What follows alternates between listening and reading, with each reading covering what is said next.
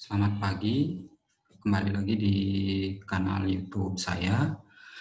Jadi pada uh, siang hari ini uh, saya akan berbagi uh, video lagi ya. Jadi uh, semoga teman-teman dan ibu bapak semua uh, yang menyaksikan video ini dalam keadaan sehat. Jadi pada pagi hari ini saya akan uh, berbagi informasi tentang hasil riset awal saya mengenai uh, kondisi UMKM saat pandemi.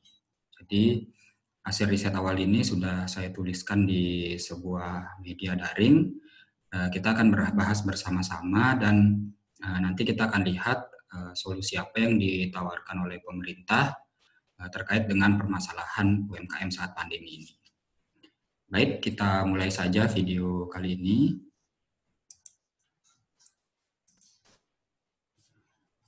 Oke, uh, jadi ini adalah artikel saya di The Conversation Indonesia ya, uh, yang dimuat pada tanggal 7 Juli 2020. Jadi judulnya adalah uh, bantuan untuk UMKM selama pandemi itu tidak tepat sasaran, lima cara untuk memperbaikinya. Jadi ini sebenarnya maksudnya adalah uh, program restrukturisasi utang ya, yang diberikan uh, pemerintah kepada UMKM. Jadi dari hasil riset awal kami, kami menemukan bahwa program ini itu tidak tepat sasaran karena ada beberapa permasalahan di lapangan yang terkait dengan pelaku UMKM yang belum diselesaikan terlebih dahulu oleh pemerintah seperti itu. Jadi uh, ini uh, artikelnya ya dan linknya nanti atau tautannya nanti akan saya taruh di kolom deskripsi di bawah. Jadi uh, pada artikel ini saya menjelaskan bahwa uh, eh, UMKM itu menyumbang eh, uh, 60% dari produk domestik bruto nasional. Ini data pada tahun lalu ya, jadi sekitar 2.394 triliun rupiah. Jadi 65% dari PDB kita itu disumbang dari operasional UMKM. Kemudian ada berapa UMKM di Indonesia? Dari jadi dari data tahun 2018 itu ada sekitar 64,2 juta UMKM di Indonesia. Oke, dan berikutnya ini kondisi normal ya. Tapi ketika apa namanya ketika ada pandemi ini maka eh, 63% dari perusahaan yang menjadi penelitian dari yang dilakukan oleh ILO ini itu mengatakan bahwa melakukan hal-hal yang eh, bertujuan untuk mempertahankan bisnisnya seperti mengurangi jumlah pekerja dan seterusnya. Jadi pada kondisi pandemi ini UMKM itu Eh, mengalami masalah yang luar biasa ya. Dan uh, dampaknya pemerintah itu memberikan bantuan senilai 150 triliun rupiah yang digelontorkan untuk restrukturisasi utang UMKM. Jadi ini kebijakan pemerintah untuk membantu pelaku UMKM di Indonesia yaitu memberikan program uh, restrukturisasi utang. Program ini bisa pengurangan bunga, kemudian perpanjangan jangka waktu kredit, penundaan pembayaran dan seterusnya. Namun program baik ini uh, belum tepat ya, maksudnya aplikasi atau praktek di lapangannya masih belum banyak berhasil. Gitu. Meskipun kita apresiasi bahwa program ini sudah mampu memberikan uh, restrukturisasi utang yang banyak juga kepada UMKM, tapi kami rasa program ini belum tepat sasaran, masih banyak yang harus diperbaiki. Pertama yang uh, belum banyak diperbaiki oleh pemerintah itu ternyata banyak uh, eh, UMKM di daerah itu yang meminjam dari lembaga keuangan ilegal. Jadi ini data mungkin data sudah lama ya tahun 2012 itu menunjukkan bahwa 40% UMKM di Jawa Barat itu telah terjerat utang rentenir. Jadi kami belum memahami kenapa para pelaku UMKM ini cenderung untuk melakukan peminjaman modal atau utang itu ke lembaga keuangan ilegal. Lembaga keuangan ilegal ini tentu adalah uh, di luar ya di luar industri perbankan dan lembaga keuangan resmi yang uh, diawasi dan terdaftar di otoritas jasa keuangan. Jadi motivasi mereka untuk meminjam dari lembaga keuangan ilegal atau rentenir ini misalkan ya lebih mudah, kemudian lebih cepat, mengenal yang meminjam dan seterusnya. Tapi masalahnya bahwa ketika terjadi pandemi dan restrukturisasi utang itu harus uh, dilakukan, maka meminjam dari lembaga keuangan ilegal ini menjadi tidak tidak apa ya tidak tidak pas sehingga uh, pelaku UMKM yang minjam dari lembaga keuangan ilegal ini tidak mendapatkan program restrukturisasi utang. Jadi itu permasalahan pertama yang uh, kami lihat. Kemudian yang berikutnya dari lapangan yang kami temui bahwa banyak yang tidak mengetahui mekanisme restrukturisasi. Jadi istilah restrukturisasi utang itu banyak pelaku UMKM yang belum memahami apa maksudnya. Jadi sebaiknya pemerintah dalam hal ini itu lebih menggunakan bahasa yang mudah dipahami ya oleh uh, pelaku-pelaku UMKM di daerah, misalkan penundaan hutang atau penundaan cicilan dan seterusnya. Jadi istilah restrukturisasi ini agak agak susah dipahami dan belum banyak pelaku UMKM yang memahami tentang proses restrukturisasi utang ini. Misalkan apa yang harus dilakukan, uh, apa yang harus dipersiapkan, dokumen apa yang harus dilakukan, dan seterusnya. Karena banyak juga pelaku UMKM yang mungkin catatan-catatan keuangannya itu belum bagus, sudah mendapat modal dari bank, tapi penggunaan kur atau kreditnya itu tidak baik, sehingga ketika nanti bank atau lembaga keuangan itu akan melakukan proses peninjauan utangnya kembali, itu agak susah. Jadi ini juga menjadi problem yang harus diselesaikan oleh pemerintah ya tentang uh, restrukturisasi ini, sosialisasi tentang mekanisme restrukturisasi. Oke, terus berikutnya yang kami rasa juga harus diperbaiki oleh pemerintah itu adalah data UMKM belum lengkap. Beberapa pemerintah daerah itu atau dinas koperasi dan UMKM itu belum memperbarui data-datanya atau istilahnya belum up to date dengan data. Ini juga sangat penting karena terkait nanti dengan proses perizinan, kemudian monitoring, pengawasan, perpajakan, kemudian ketika pandemi ini maka kita lebih mudah untuk mendata mana UMKM yang terdampak dan seterusnya. Bahkan di artikel berita yang kami temukan itu pemerintah pusat itu mengakui bahwa data mengenai UMKM ini juga memang belum tersedia dengan baik. Jadi program restrukturisasi utang ini seharusnya didukung oleh ketersediaan data-data UMKM yang disupport atau didukung dari pemerintah daerah. Sehingga pemerintah pusat itu ketika akan memberikan bantuan dalam bentuk restrukturisasi utang itu tepat sasaran.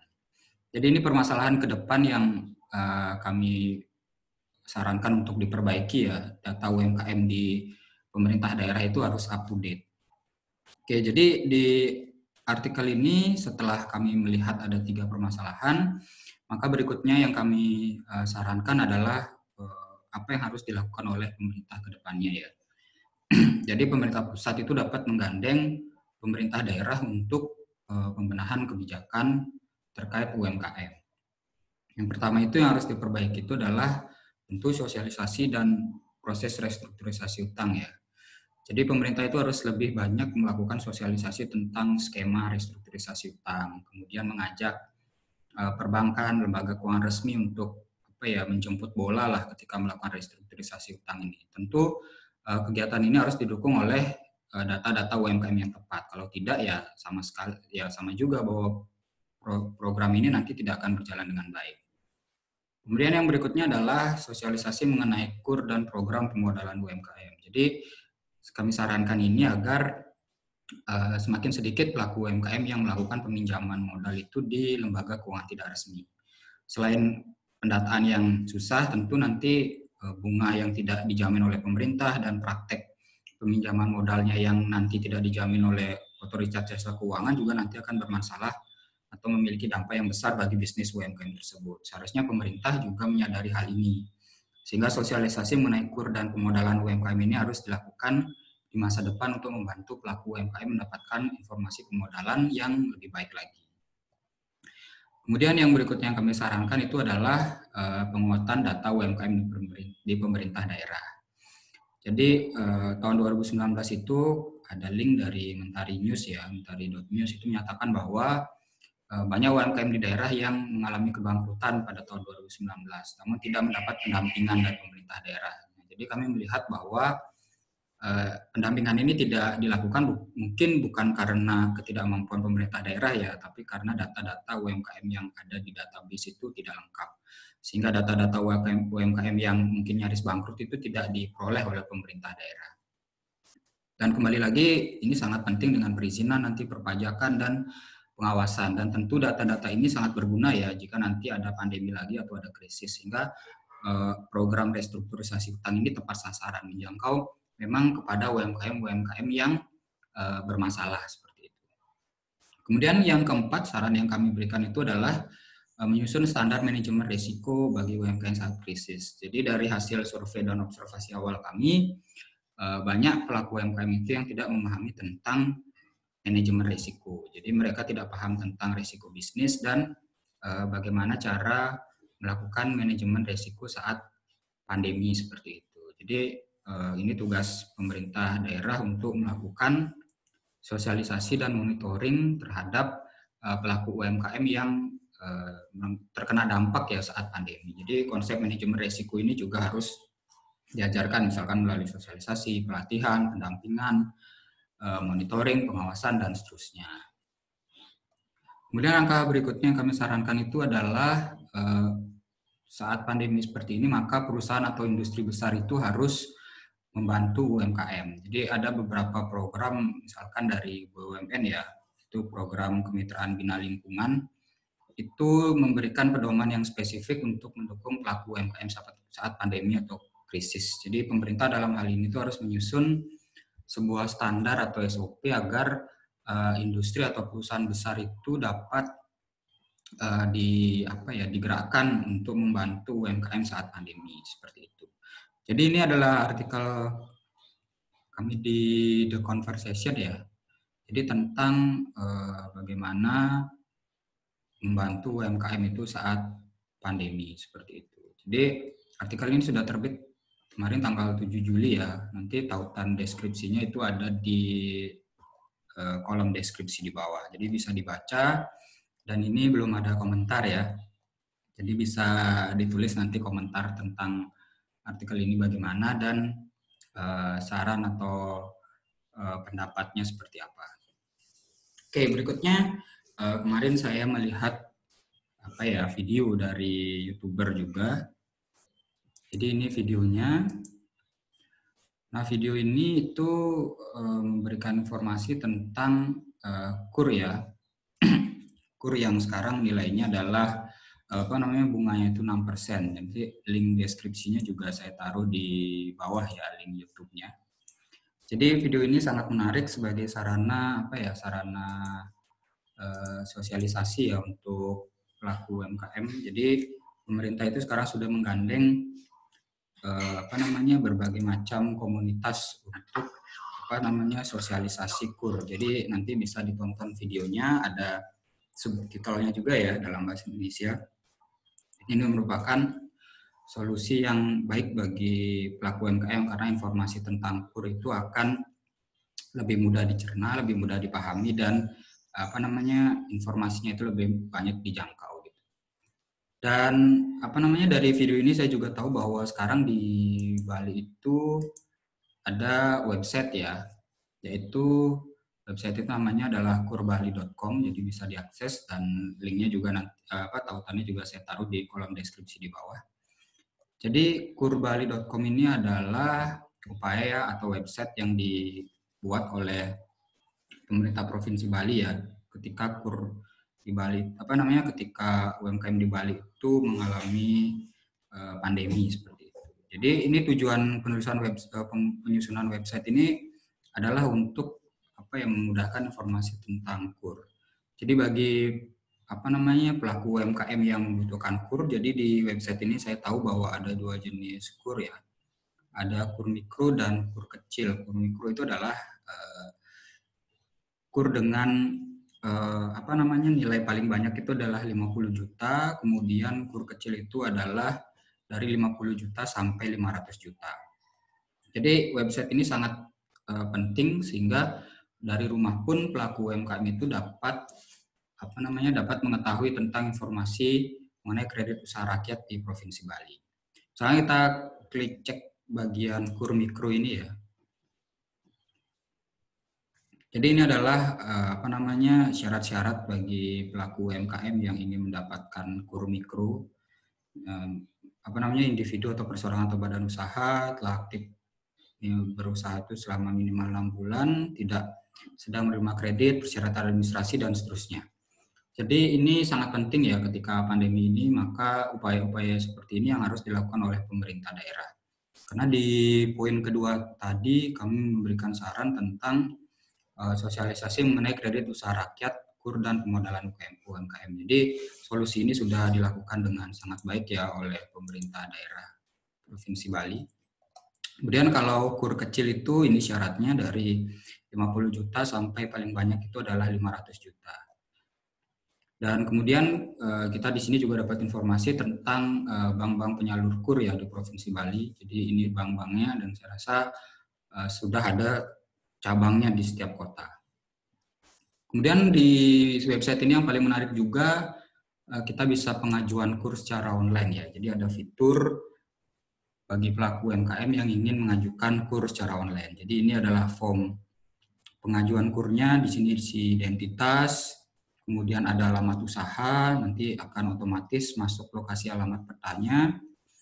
Jadi ini adalah pengajuannya ya. Jadi ada jumlah pengajuan berapa, jangka waktu, pilih bank, kemudian jenis usaha apa, izin usaha, NPWP, foto, dan ajukan. Jadi eh, dari form ini para pelaku UMKM itu dapat mengajukan kurs secara online dan nanti akan dihubungi oleh pihak bank yang bersangkutan. Jadi ini sangat baik sekali bagi pelaku UMKM ya, ketika di rumah bisa mengajukan KUR. Nanti setelah diajukan ada di bagian uh, status pengajuan ya. Dapat nomor registrasi, kemudian cek sejauh mana pengajuan KUR kita itu bisa diterima atau ditindaklanjuti oleh bank penyalur KURnya.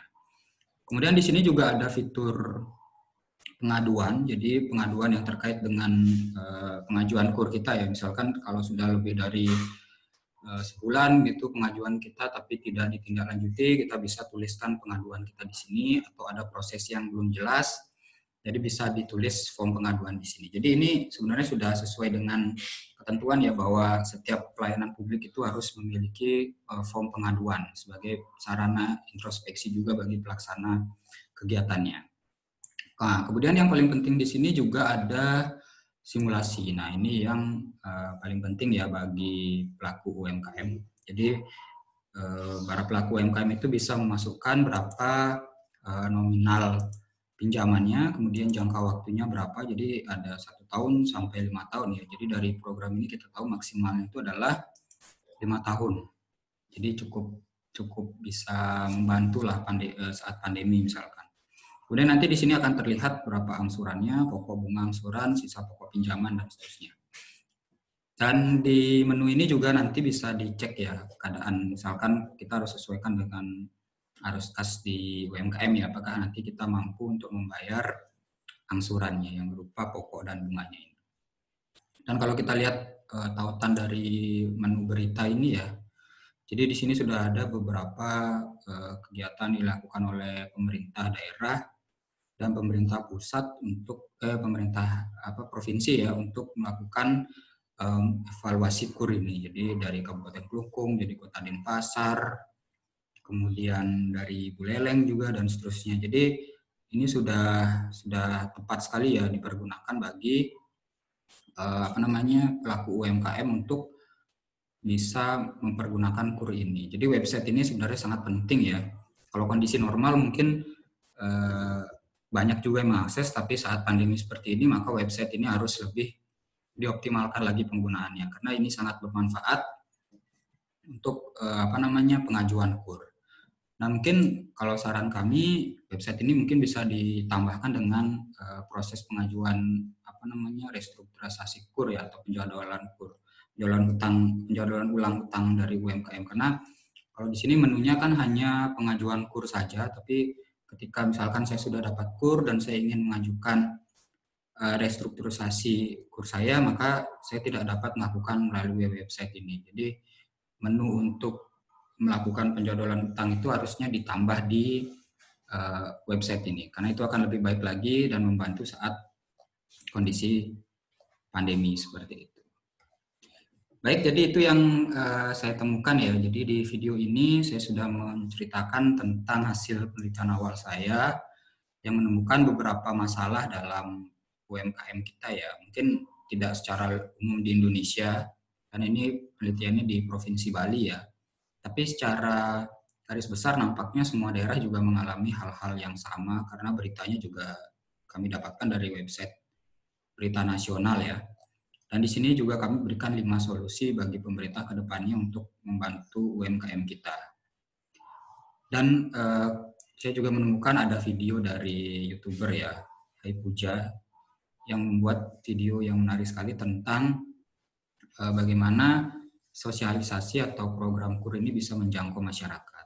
Dan dari video ini juga saya tahu uh, ada website KUR Bali ya, uh, Kredit Usaha Rakyat Provinsi Bali, yang ini diciptakan itu sebelum pandemi, tapi ketika pandemi seharusnya uh, website ini bermanfaat juga untuk uh, pengajuan restrukturisasi utang. Karena ketika pandemi kan tentu kita harus mengurangi jumlah orang yang melakukan kunjungan ke bank ya. Jadi cukup mengupload dokumen, maka sudah bisa dihitung berapa atau kemungkinan untuk mendapatkan restrukturisasi utang seperti itu. Oke, jadi itu video kali ini tentang uh, permasalahan pelaku UMKM ya saat pandemi dan uh, solusi yang bisa ditawarkan serta apa yang sudah dilakukan oleh pemerintah. Jadi saya harap pemerintah daerah itu selalu uh, melakukan update data terhadap pelaku UMKM di seluruh Bali atau di Indonesia mungkin dan juga mengaktifkan uh, fitur-fitur yang bermanfaat seperti website kurbali.com ini.